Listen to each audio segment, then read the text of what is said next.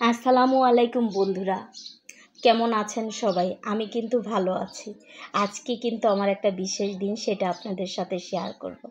তো সকালে কিন্তু ঘুমের থেকে উঠেছি সাড়ে ছয়টায়। মেয়ে স্কুলে গেল, স্বামী আটটার দিকে অফিসে গেল। তারপর আমি দুইটা মেডিসিন নিলাম। তারপর মেডিসিন নেওয়ার প্রায় এক ঘণ্টা পরে আমি একটু চিয়া সিড খেলাম, একটু হানি ড্রাই ফ্রুট খেলাম। তারও আধা ঘণ্টা পরে একটা ডিম খেলাম, কারণ আমি নাস্তা বানাবো না আজকে। একসাথে দুপুরের রান্না শেষ করে তারপর আমি খাবার খাব।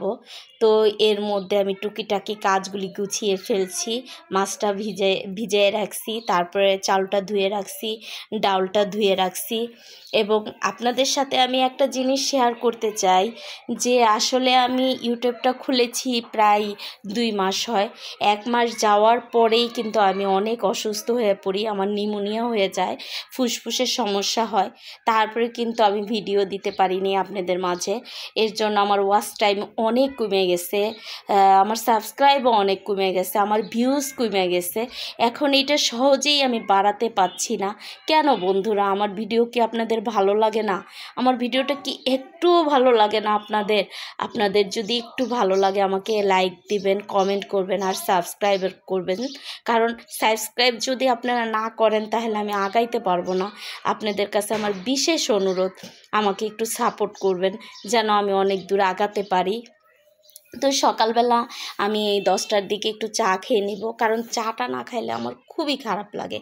আমার সকালবেলা চা না খাইলে কেন যেন আমার মনে হয় আমি সারাদিন মনে হয় কিছুই খাইনি, আমি না খাইয়ে রয়েছি সেই তৃপ্তিটাই মানে আসলে লাগে না যে আসলে আমি কিছু খাইছি। তো আমি ঘন করে লিকার বেশি দিয়ে, দুধ বেশি দিয়ে চাটা খেতে পছন্দ করি। আমি সারাদিনে এক কাপ চাই খাই, বন্ধুরা। তারপর আপনাদের বলতে চাই যে আমার ভিডিওটা যদি ভালো লাগে, অবশ্যই আমার আগাতে সাহায্য করবেন।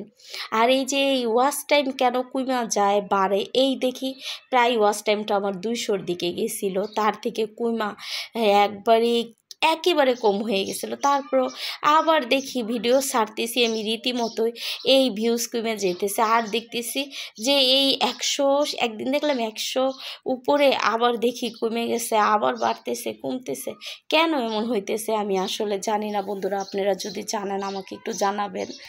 আর আমি কেন যেন গ্রো করতেছি না। ভিডিওটা কি আসলে আমার ভালো হয় না? আর আমার ভুল ত্রুটি কোথায় আছে? আপনারা যদি একটু ধরিয়ে দেন যে আপনি এইভাবে করেন, ওইভাবে করেন, তাহলে আমি খুশি হব। তো আমার মেয়ে কিন্তু আজকে আমার জন্মদিনের জন্য, আমার জন্য একটা কেক আর একটা চকলেট আনছে।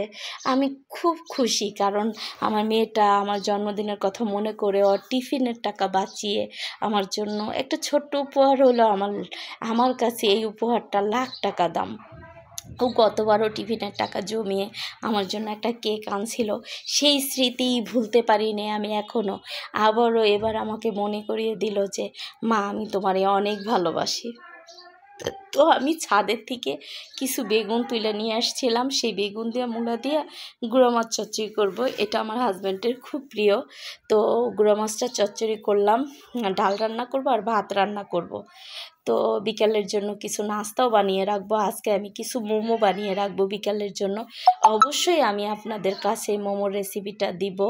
তো ভালো লাগলে অবশ্যই দেখবেন। আর দুপুরবেলা আমি আগের দিনে রাত্রে, আগের দিনে কিছু মুরগির মাংস ছিল, সেটা দিয়ে খাইয়ে নিলাম বারোটার দিকে। কারণ আমার দুপুরের খাবার খাইতে খাইতে সাড়ে তিনটা, চারটা বাজবে।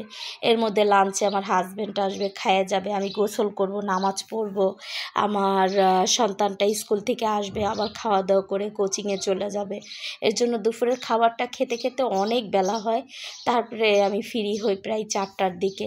তখন হয়তো বা একটু মোবাইলটা দেখি, তারপর আবার আসরতের সময় হয়ে যায়। এভাবেই আমার দিনটা কাইটা যায়। তো সন্ধ্যার সময় নাস্তাটা এখন যদি আগেই তৈরি করে রাখি, সন্ধ্যায় খেতে তাড়াহুড়া হয় তাড়াতাড়ি খেতে পারি আর কি। তো সবাই দেখলেন, আসসালামু আলাইকুম, ভালো থাকবেন।